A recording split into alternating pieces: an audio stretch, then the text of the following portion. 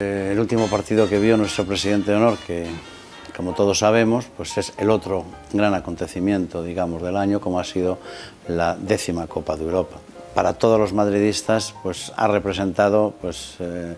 eh, digamos, la satisfacción de haber conseguido algo muy deseado durante tantos años y que, eh, bueno, pues que con ver cómo se celebraba esta copa en todos los lugares del mundo, pues podemos darnos una idea eh, de, lo, que ha significado para todos nosotros. Ha llegado alguien muy importante para todos nosotros, para toda nuestra familia,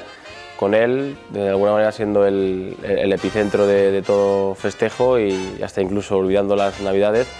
porque lo que queremos es disfrutar con, con él y, y, pasar todo el tiempo posible con, con el pequeño para, para, que sean todavía más bonitas y más ilusionantes.